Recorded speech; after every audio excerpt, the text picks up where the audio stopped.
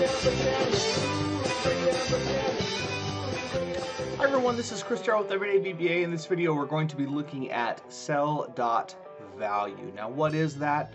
Um, it is the value of that cell. Now, is that value a number? It could be text. It really could be anything. So we're just going to go ahead and dig in. We've got our Visual Basic Editor open. Um, you can get there by hitting Alt F11. I've got my code included uh, here. I'll actually have this in my comments as well, so if you want to grab it, go right ahead. Um, while you're at it, subscribe to my YouTube channel. Okay, we are going to come in here and we are going to just get cells. We're going to get cells. We are in, we're going to go cells 8, which is row 8. We're going to go cells uh, column 2, which is right here. And we're going to go dot value.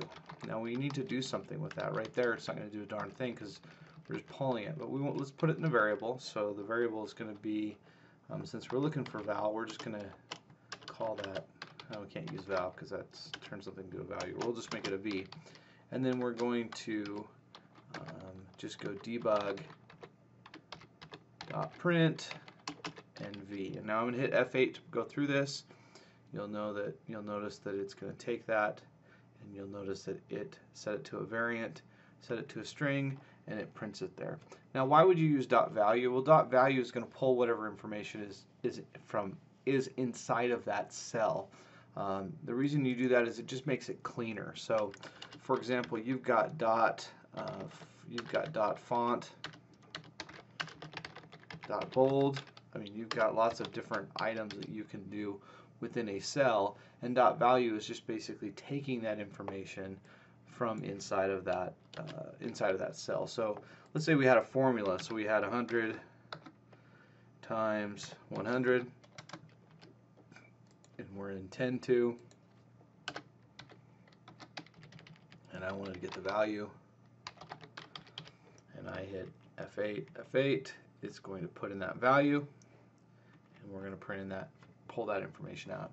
Now you could also do a dot formula to pull out the formula on that. Uh, but that is specifically what dot value is, is a cell's value.